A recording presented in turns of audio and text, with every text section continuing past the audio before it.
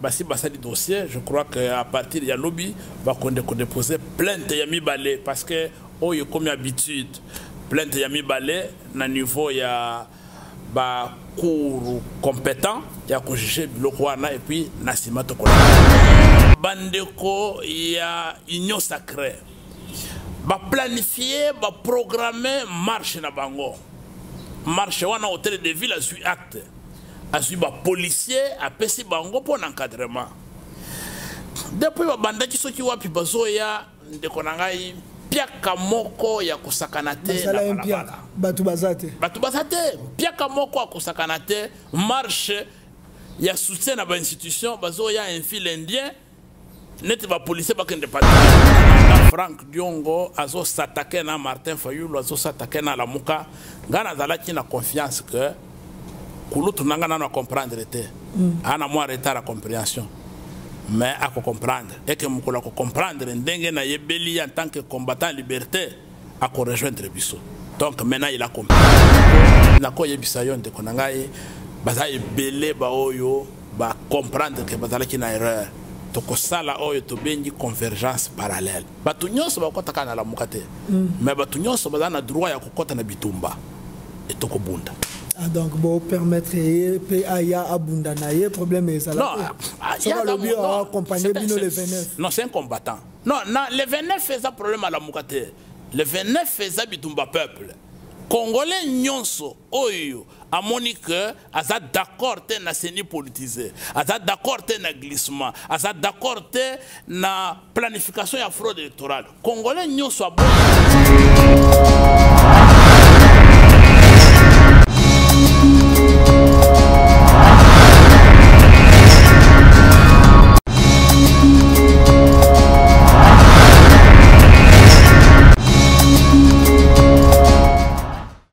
Bonjour, bonsoir, euh, bienvenue dans l'émission Toloba Politique. Nanga ya bino, Trésor Kenga Bukele. Nazaka toujours wana pona ko informer bino. Lelo otoko yamba moko ya ba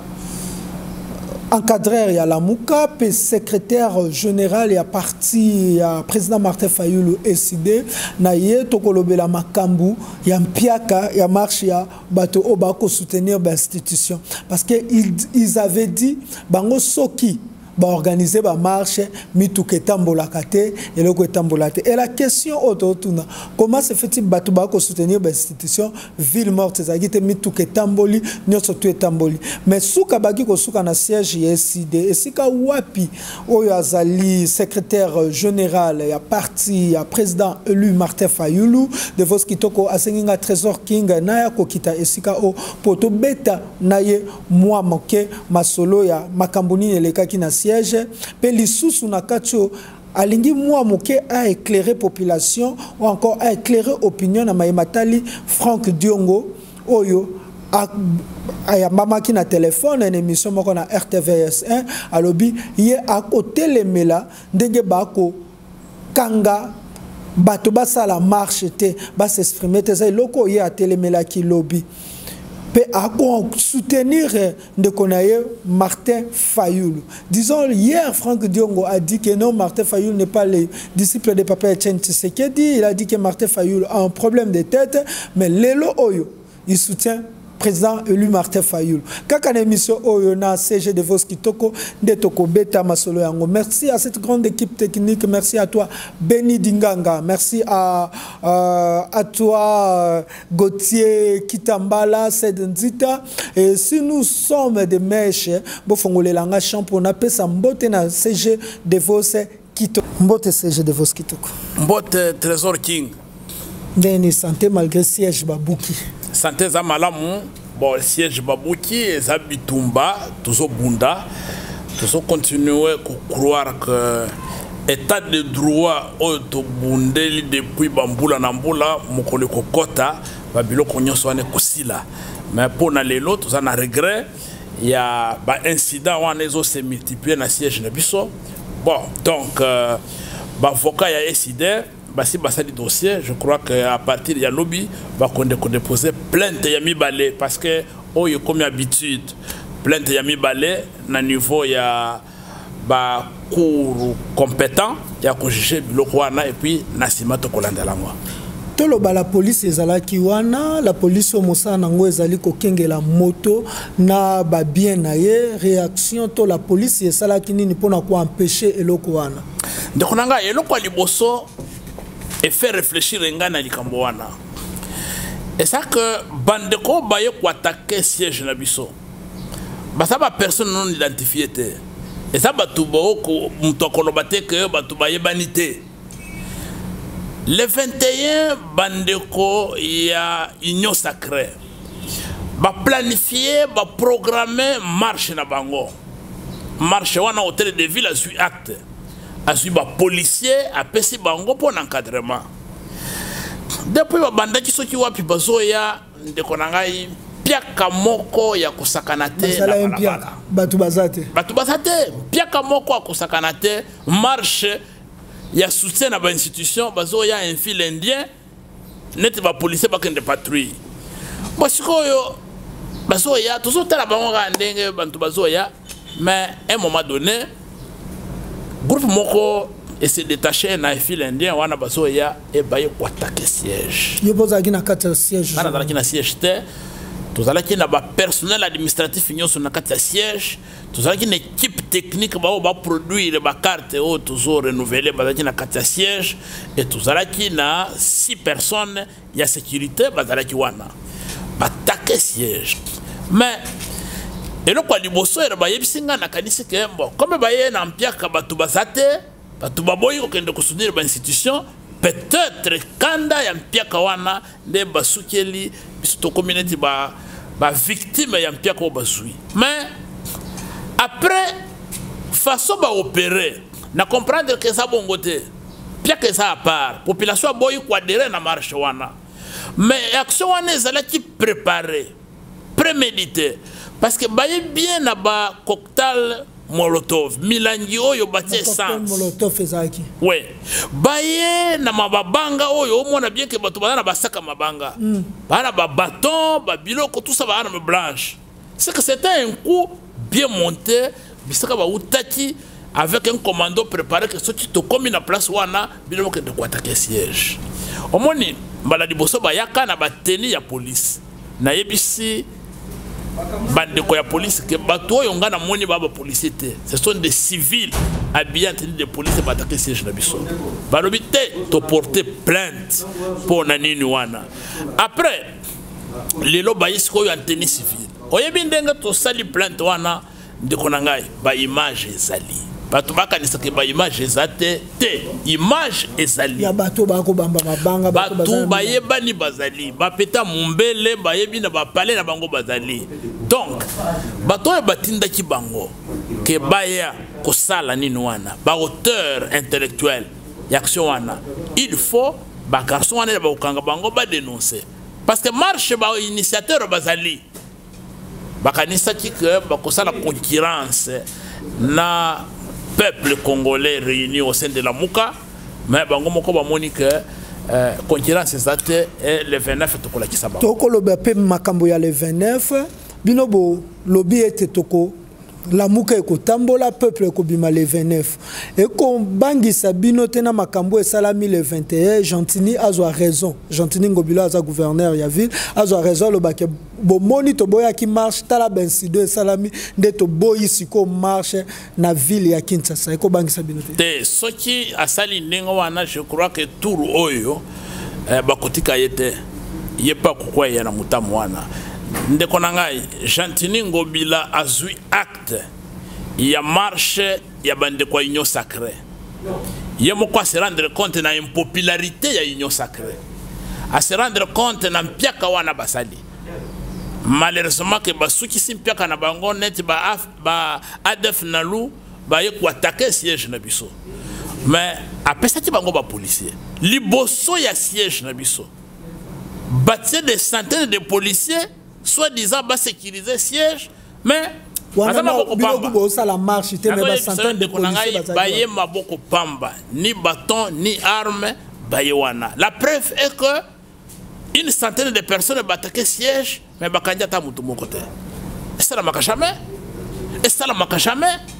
comment vous pouvez les gens peuvent venir opérer saccager un siège la police intervient ata motu moko bakangi te bapeti wana balongwe calmement après coopérer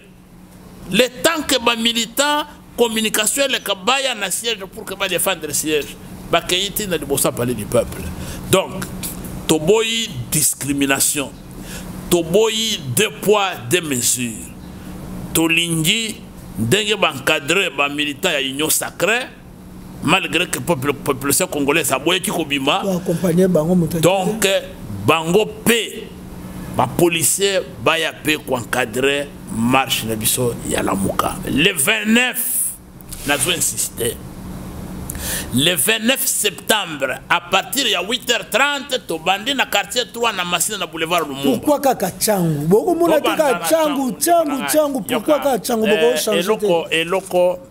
raison ya liboso mm. na kishasa balabala ya monene ya molai okopermettre population ndenge biso tomobilizaka econtenir population pour que tosécurise bato balabala ya monene koleka boulevard lumumba jusque sendwe triomphale na palais du peuple eza te balabala oyo ya moneneyebisa yo tokobanda na kan luka hmm. mais balabala eza moke ndeko na ngai balabala eza moke nde banda tout simplement donc soki biso tozosala marche eza ville morte te au moment où tozosala marche bandeko oyo ya union sacrée oyo oh, basali mpiaka babesoin mpe baleka tokotikela bango mwa bande moko mpe bakende bao bakende aéroport bao basala misala bango basala ce n'est pas une guerre donc eza mpona grandeur ya balabala distance ya koparcourir na ndenge ya kosécurize bato nde toponaka kote wana mais lamuka eza population congolaise nayebisa yo ndeko na ngai soki na bandi marche wana na rome point ngaba le temps que nakoma na na nini na na na palais du peuple okokamwa mais tala nzela ya université balabala eza te balabala eza te tokoleka wapi tokoleka wapi soki nalingi nabanda na lukunga na kan luka na delvo balabala eza te Et eza question il y a condition d'accueil la population la mouka, c'est la machine populaire. La mouka, c'est le peuple. Ce sont des foules qui vont se déplacer. Pourquoi Batin Dakaba policier Qu'on violentait Batou. Pourquoi on déplace 3000, 4000 militaires Policiers, services de sécurité en air. pour que bakende kodisperse bato babangaka bafoule e bafoule wana tour oyo bakovivre yango tokokita malembe malembe jusque liboso ya palais du peuple babanga te biso toza bapacifique toza balegaliste tokotambola pacifiquement mais monde entier il faut découvrir que le 21 Colonne wana elekaki nde soutien aux institutions. Mm. Colonne ya wana elekaki eza soutien ya institution. Wana colonne wana quelques militants na ba drapeau na bango na bamolotov oyo bayaki koatake biro nde nde soutien aux institutions sikoyo bamona peuple congolais la légitimité de quel côté oyebi résistance passive les congolais se sont dit mais bobotoli biso victoire boyibi bavoi na biso boconfiske souveraineté na biso bolobi 5 ans 5 ans c'est pas la fin du congo c'est pas la fin du monde ok bokende 5 ans yango ezosila etikali mbula moko tolobela sécurité ya président martin fayulu mpo bato ebele bainquiete na yango babi bokotika président martin fayulu ye moko panda ete bato oyo baza na ngambo wana bakokana kosala ye mabe est ce que kobangisa te to boprépare ndeni mpo président martin fayulu azala na sécurité la police apusana pembeni na ye te mpo kotika kai na la police bato ebele bakobanga bacuba eloko mabe to basala eloko mabe oyebi martin fayulu ndenge tobengaka aza aigle aza ya solo aigle makambo mosusu soki alobi okondana yango lelo lobi opesi ya raison toyebi ke bapolicier bayaki en plus grand nombre koleka service ya sécurité oyo biso tosalaki on a prévu les gens étaient là mais on n'avait jamais imaginé que on peut envoyer 200 personnes uniquement pour que bakende koempêche commandant du peuple na coordonnateur ya lamuka kobima na bavoiture na bango wana déjà tozwi leçon mm. mardi ba dispo le, le mercredi plutôt mercredi le 29 tosi tozwi ba disposition mpo na sécurité non seulement ya commandant du peuple martin fayulu na coordonnateur adolphe musitu tozwi mpe badisposition mpo na biso nyonso mpo na population ekoya tozwi badisposition mais tokointerpele mpe la police ndeko na ngai nalingi bato bacomprendre ke bapolisier ya congo baformaki bango na mbongo na biso oyo tozofuta mpaku na biso impo tofutaka basombeli ba bango bateni na mbongo na biso bagaze lacrimogène na minduki baza na yango na mbongo na biso Mission ya la police ezali ya ko sécuriser bato na biloko na bango. Eza ya koyiba te. Mais eza pe ba policiers nyoso bayibaka te. Ba policiers nyoso te bayibaka. Ce n'est pas tous les policiers qui volent. Non, faut pas confondre. Soki oza na 1000 policiers, oza na 10 10 wana nde bazoyiba biloko ya bamama babotola batelefone bazobeta bato bazoyiba ba 10 wana nde babolole wana ozongisi su bolole bana basoda baporte plainte mpo na bapapa na bango bapara na bango bokobenga babolole verité eza que yo soki oyibaka obotolaka biloko ya bato obetaka bato alors que mission na yo eza ya kosécuriser bato soki oza bolole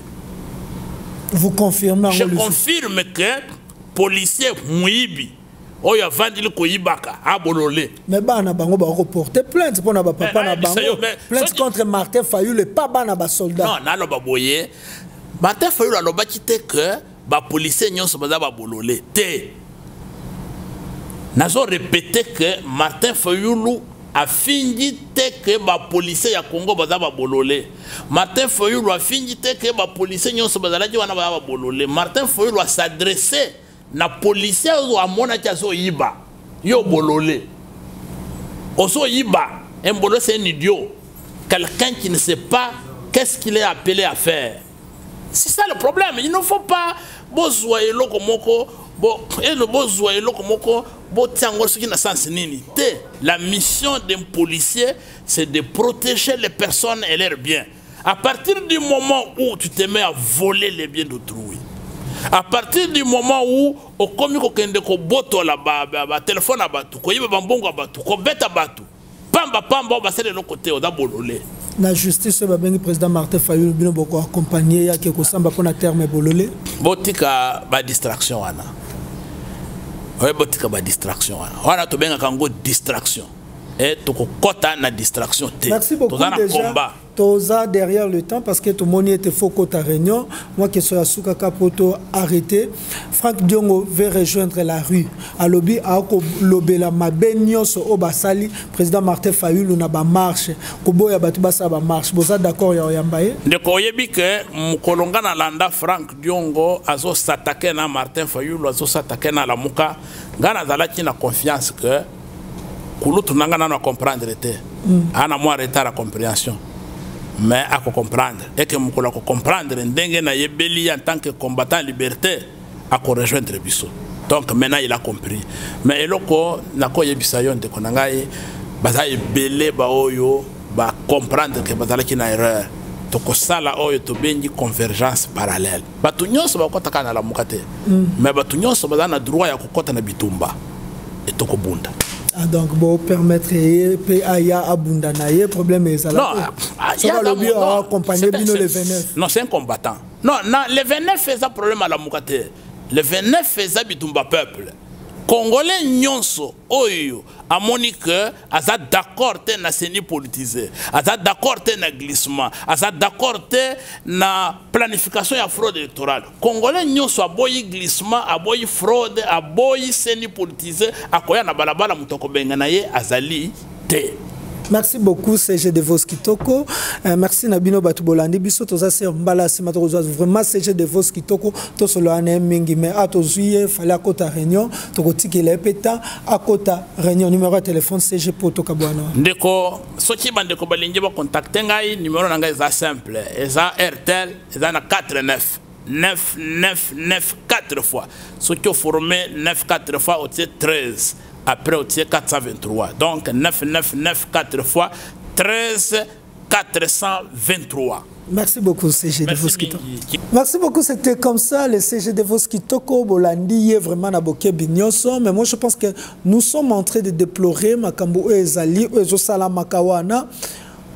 Euh, ba vandalisme wana nyoso parce que l'autre fois na siège ya nouvel élan bato oyo bako tambusa vidéo que trésor king aobeta policier le monsieur n'était pas un policier ce monsieur là oyo baoloba trésor king abandaki kobeta si elle était un policier monsieur azalaki na tenue te toyebi ke résidence ya mutu ezali protégé mais on a vu des policiers en tenue na kati ya résidence ya Adolphe Muzitu na ville oyo eza pa siège ya nouvel élan est ce que bazalaki na idée ya kopanza yango to te mpo bakoti ti na kati ya babiro bato ya babiro bakimi qu'on se sensibilise mpo toke obimisa bango le messier oyo tobeti na moto on a, croit, on a cru que moto wana ezalaki ya ye ntango mwana moto abimi alobi moto na ngai azokende na moto na oh, yo ozokende na moto ya bato wapi zwa ye bapolisi en tenue bakimi le monsieur qui n'était pas en tenue oyo oh, bokomona oyo oh, bakolobake trésor king azobeta policier qu'est-ce qui montre que c'est un policier en tenue civile parce que marche ezalaki pacifique oyo oh, esengaki ke bapolicier na tenue nde baya koprotege marche mpe ezalaki mpe te na ndako ya adolphe euh, muzitu ndako adolphe muzitu ezalaka deja na bapolisier oyo bapesa ye mpo basecurise yango esemesela na moto ya bato ayaki kosala nini mpo azwa moto ya bato et il avait le bayonnette na nini parce que totika ya boma bato il fallait se défendre yango nga trésor king soki nabetaki soki azalaki na tenue bolakisi nga tenue d'ailleurs la police congolaise elata bakilote te na ba jean te et vous voulez que ces gens là nous finissent naloba la violence doit euh, se répondre na violence moto aye na bayonnette mpo ayiba moto bato akei nango qu'est ce qu'on fait on l'applaudit eh, yango abetamaki et vous qui faites des commentaires pour dire que non eh, trésor king aza mele salamuka bokanga général kasongo aza où était le général kasongo kasemesela voler la moto d'autrui na kati ya siège ya nouvelle ela aobima nango azokende merci beaucoup tokutani mbala ya nsima tokoyambana eza sena na koexplike eloko mpo ya bato tu baotambwisa video wana uh, moi mes coups ne sont pas dans ma poche oyo oh, so namoni moto aosala mabe nazwi bakwana na bomi na poche on, on allait le donner na la police ni parce que la police so bolandi video wana ntina suka la police ezwa mabanga donc ça veut dire le mesela était avec le policier so toarrete topesi na la police eza nini tozwi moto wana topesi yango ekende parce que na suka la police même a pris la moto ake na moto moi je demande au général kasongo de discipliner les gens oh yo tindi otindi oh tindi to tindi te et dans des euh, manifestations comme ça bato fo bazala na tenue ya uniforme to valoriser tenue ya mboka et non moto moko boye aye na mbeli bayonnette na motorola en tenue civile azokota azopille on applaudi pour lui non moi je pense que non ah, monsieur wana abetami na balabala te abetami na kati ya siège ya nouvelle elan botunayaki osala nini moto ya bato asimbaki wana maboko pwani avant que vous commente baconnerie ba oyo bokokommente merci beaucoup tokutani mbala nsima na émission mosusu toloba politique bye